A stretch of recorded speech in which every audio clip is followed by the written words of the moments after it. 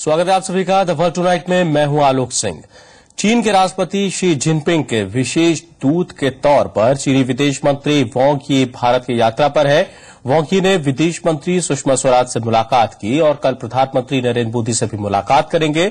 इसके साथ ही उनके राष्ट्रपति प्रणब मुखर्जी और राष्ट्रीय सुरक्षा सलाहकार अजीत डोभाल से भी मुलाकात करने की संभावना है। आइए देखते हैं मुलाकात में क्या रहा खास।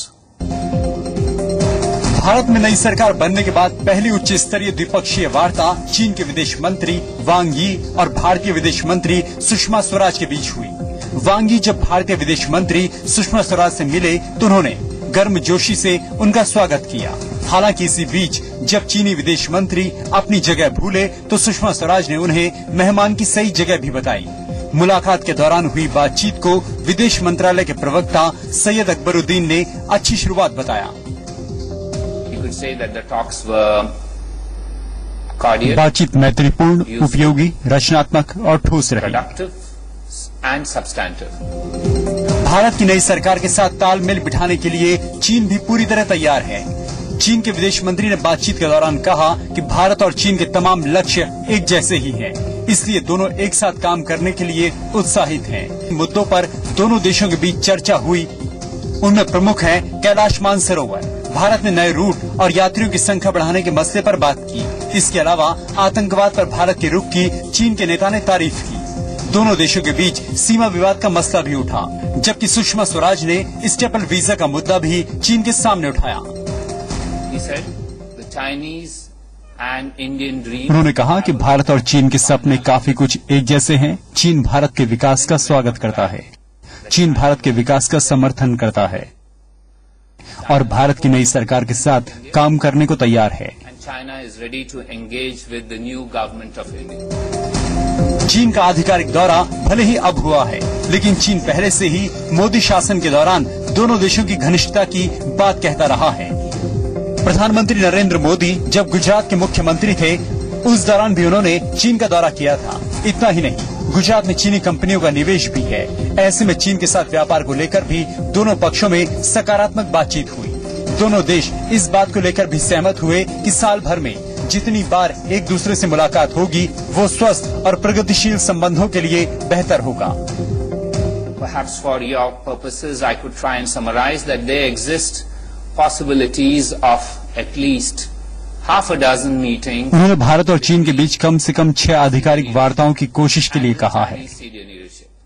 साल भर में ऐसा कैलेंडर बने कि इस साल ज़्यादा से ज़्यादा मुलाकातें हो सकें। Calendar of schedule possible interaction during the rest of the year चीन के विदेश मंत्री का भारत दौरा ऐसे वक्त में हुआ है जबकि उसे भी भारत से सहयोग की दरकार है क्योंकि चीन एक तरफ़ पूर्वी चीन सागर में जापान का सामना कर रहा है। वहीं दूसरी ओर वियतनाम, फिलीपींस और दूसरे देशों के साथ भी चीन का समुद्री विवाद चल रहा है। हालाँकि भारत के साथ भी उसका सीमाई विवाद है। लेकिन इस वक्त भारतीय सरकार के साथ चीन कदम मिलाकर चलने के लिए बिल्कुल तैयार है। क्योंकि जब अमेरिका भी चीन के विरोध में है तो एशिया में उसे एक सशक्त सहयोगी की तलाश है। Bureau report, Zee media. UP में बढ़ते रेप के मामले और महिलाओं के खिलाफ अपराध, दुनिया भर में चर्चा का मुद्दा बन गया है। अमेरिका से लेकर ब्रिटेन तक में बंदायु गैंग रेप केस की चर्चा हो रही है।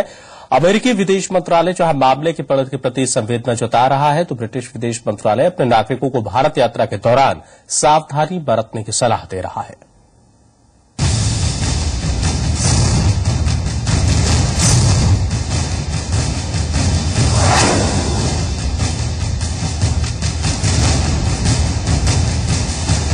लगी होगी, इतनी ज़ोर से लगी होगी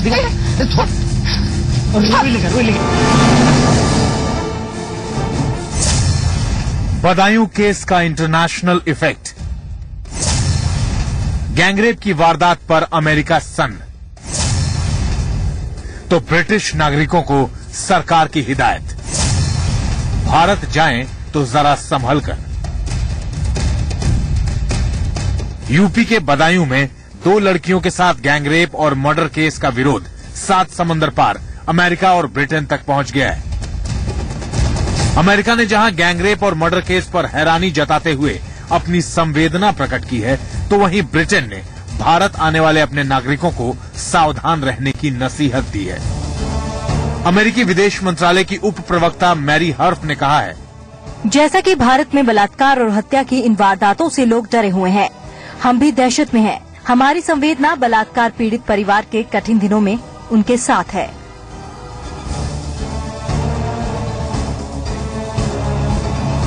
बदायूं गैंगरेप और डबल मर्डर केस की गूंज ब्रिटेन में भी सुनाई दे रही है।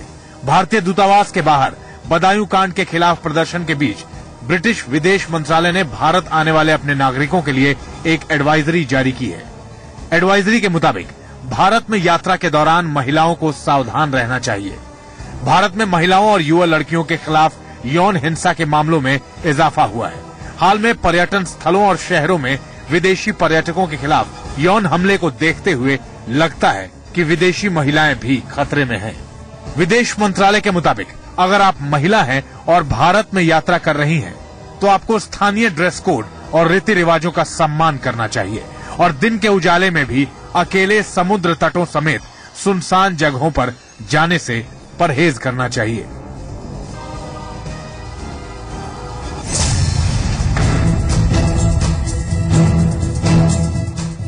इतना ही नहीं, ब्रिटिश मीडिया में भी बदायूं समेत भारत में हो रहे महिलाओं के खिलाफ अपराध इन दिनों सुर्खियाँ बटोर रहा है। ब्रिटिश अखबार द टेलीग्राफ के मुताबिक, ट्रेवल एक्सपर्ट गिल कार्ल्टन ने तो भारत में महिलाओं को घूरने को टाइम पास का एक तरीका करार दिया है। कार्ल्टन ने लिखा है कि भारत में महिलाओं को घूरना टाइम पास का एक तरीका है। यहाँ तक कि लोग नन को भी घूरने से बाज नहीं आते हैं। अगर आप भारत में सम्मान पाना चाहते हैं तो आपको रूढ़िवादी कपड़े पहनने होंगे। देखिए, बड़ी सिख मानसिकता मानी जाएगी ये। परेशानी ये है कि इन लोगों को लगता है कि कुछ इनका हो नहीं सकता। कि ये कुछ करेंगे तो उसका कोई सेटबैक नहीं होता इन लोगों को, कुछ पीछे नहीं पड़ता। So this actually adds on कि अगर कुछ हो नहीं रहा तो करने में क्या नुकसान है? कोई आके टोक नहीं रहा तो करने में क्या नुकसान है? तो ये वाली चीज़ें जो है इन आदतों को फ्यूल करती हैं इन आदतों को बढ़ाती हैं। ये कोई पहला मौका नहीं है जब महिलाओं के खिलाफ अपराध से अंतर्राष्ट्रीय स्तर पर भारत का सिर शर्म से झुका। दिल्ली की चर्चित निर्भया गैंगरेप केस के खिलाफ भी अमेरिका और ब्रिटेन जैसे कई देशों में प्रदर्शन हुए थे। और कई देशों ने अपने नागरिकों के लिए एडवाइजरी जारी की थी। लेकिन सबसे बड़ा सवाल है कि आखिर सख्त कानून के बावजूद क्यों नहीं बदल रही है मानसिकता? क्यों नहीं थम रहे हैं महिलाओं के खिलाफ ये जघन्य अपराध? श्वेता गुप्ता के साथ ब्यूरो रिपोर्ट, जी मीडिया। मिस्र में अब्दुल फतेह अल सीसी ने रविवार को राष्ट्रपति पद की शपथ ली। मई में हुए राष्ट्रपति चुनाव में अल सीसी ने एक तरफा जीत हासिल की थी। अल स्थिरता के दौर से गुजर रहे मिस्र की जनता को अल सीसी से बड़ी उम्मीदें हैं। ऐसे में अब देखना होगा कि क्या अल सीसी मिस्र को मुश्किलों के दौर से निकाल पाते हैं या नहीं। साल 2011 की अरब क्रांति का गवाह रहे मिस्र के लिए रविवार का दिन ऐतिहासिक रहा। क्योंकि 18 दिन की क्रांति के तीन साल बाद मिस्र की जनता ने सत्ता ऐसे शख्स के हाथों में सौंपी है, जिस पर मिस्र वासियों ने खुलकर भरोसा जताया है। देश के पूर्व सेना प्रमुख रहे अब्दुल फतेह अल सीसी ने रविवार को मिस्र के नए राष्ट्रपति के तौर पर शपथ ली। मई में हुए राष्ट्रपति चुनाव में सीसी ने एक तरफा जन समर्थन हासिल किया और आखिरकार वो दिन आ ही गया, जिसका इंतज़ार अल और मिस्र की जनता को था। हाई सिक्योरिटी के बीच राजधानी काहिरा की सर्वोच्च संवैधानिक अदालत में अलसीसी ने पद और गोपनीयता की शपथ ली। शपथ लेते हुए एलसीसी ने कहा कि वो मिस्र के रिपब्लिकन सिस्टम एकता कानून और लोगों के हितों की रक्षा करेंगे।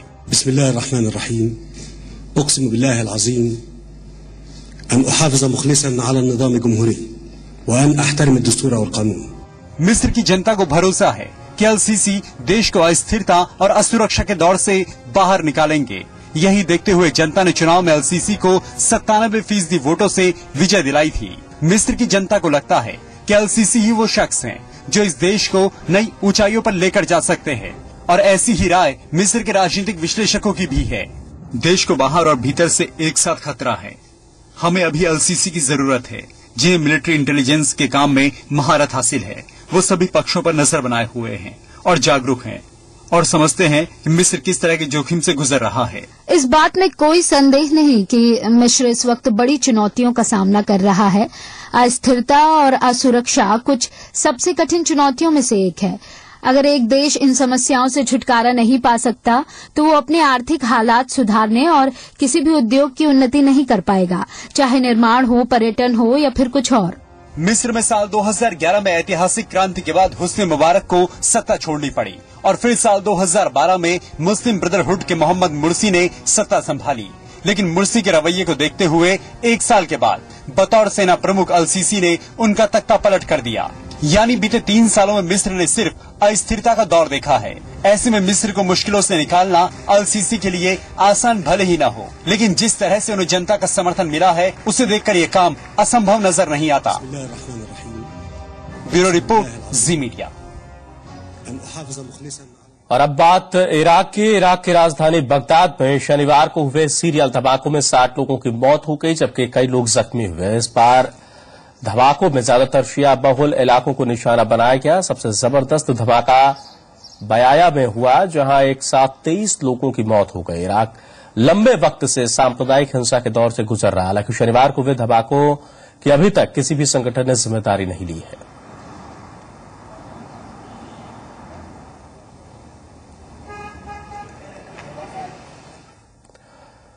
और अब बात अफ़गानिस्तान के, जहाँ उत्तरी इलाकों में आई बाढ़ ने हाल बेहाल कर रखा है। बाढ़ की वजह से अब तक 60 से ज़्यादा लोगों की मौत हो चुकी है, जबकि हज़ारों लोग बेघर हुए हैं। हालात को देखते हुए अफगान राष्ट्रपति हामिद करजई ने प्रभावित लोगों तक हर संभव मदद पहुँचाने का आदेश दिया है। दो दिन बीत चुके हैं, लेकिन अफ़गानिस्तान में बाढ़ का कहर कम होने का नाम नहीं ले रहा है। बाढ़ का सबसे ज़्यादा असर अफ़गानिस्तान के उत्तरी प्रांत बगलान में नज़र आ रहा है। जहाँ भारी बारिश के बाद बाढ़ कहर बरपा रही है। अब तक साठ से ज़्यादा लोगों की मौत हो चुकी है जबकि हज़ारों लोग बेघर हो गए हैं। इस बाढ़ में करीब 500 घर तबाह हो गए करीब 60 लोग मारे गए हैं और सैकड़ों लोग जख्मी हुए तबाही के बीच अब ये लोग सरकार से राहत की उम्मीद लगाए बैठे हैं क्योंकि न सिर ढकने को छत है और न खाने पीने की ज़रूरत का सामान। हम सरकार से मांग करते हैं कि उन लोगों को पहले मदद दी जाए, जो बाढ़ में अपना घर भी खो चुके हैं, ताकि वो ज़िंदा रह पाएँ। बगलान प्रांत के अधिकारियों के मुताबिक बाढ़ के कारण 800 से ज़्यादा परिवारों पर असर पड़ा है, जिनमें से कई लोग लापता हैं। हालात को देखते हुए अफगान राष्ट्रपति हामिद करजई ने बाढ़ प्रभावित इलाकों में तुरंत राहत और मदद पहुँचाने के आदेश दिए हैं अफ़गानिस्तान में बीते कुछ महीनों में बारिश, बाढ़ और भूस्खलन में सैकड़ों लोग मारे गए हैं। इसी साल अप्रैल में उत्तरी और पश्चिमी अफ़गानिस्तान में आई बाढ़ में सौ से ज़्यादा लोगों की मौत हो गई थी। Bureau report, Zee media.